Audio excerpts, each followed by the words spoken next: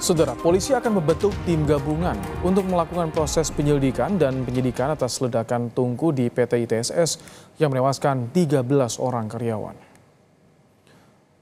Langkah ini disampaikan Kapolda Sulawesi Tengah Irjen Agus Nugroho bersama Danrem 132 Tadulako, Lejen Dodi Triwinarto.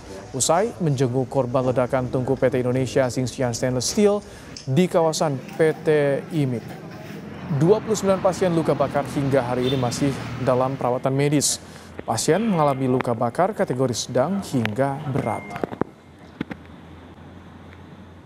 Kita sudah membuat tim gabungan yang merupakan tim penyidik dari Polres Morowali dan Polda Sultan dengan di backup oleh tim penyidik dari uh, Direktur Baris Krim Polri lebih lanjut untuk mempercepat proses penyelidikan dan penyelidikan ya, kita pun dibantu oleh tim DVI dari uh, Polda dari Bitdokes Polda Sultan kemudian juga tim Inavis dan tim laboratorium forensik baik dari Makassar maupun dari Mabes Polri.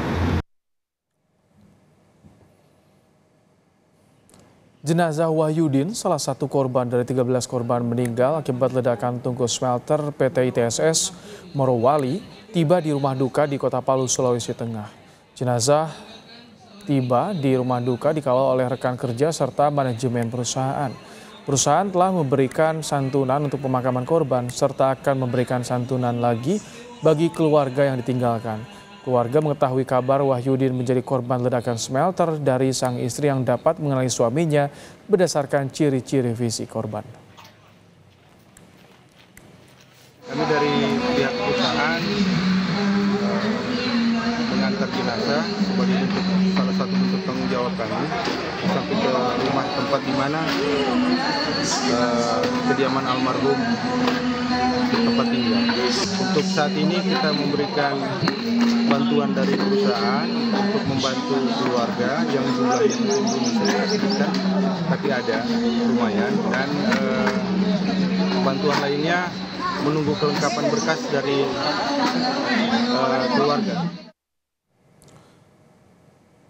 Sebelumnya 13 orang meninggal dunia akibat ledakan tungku smelter PT ITSS di area Indonesia Morowali Industrial Park Sulawesi Tengah pada minggu dini hari. Tungku smelter yang meledak tengah dalam perbaikan.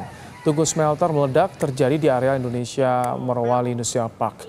35 pekerja PT ITSS menjadi korban, 13 di antaranya meninggal dunia.